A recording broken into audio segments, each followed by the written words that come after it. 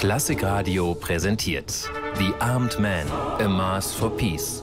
Ein Konzert für den Frieden unter der Leitung vom Komponisten Sir Carl Jenkins. 2000 Chorsänger aus 27 Ländern, das renommierte World Orchestra for Peace und sechs riesige LED-Leinwände werden sie begeistern. The Armed Man, ein Konzert für den Frieden. Am 2. November in der Mercedes-Benz Arena in Berlin. Sichern Sie sich jetzt Ihre Tickets über eventim.de oder reservix.de.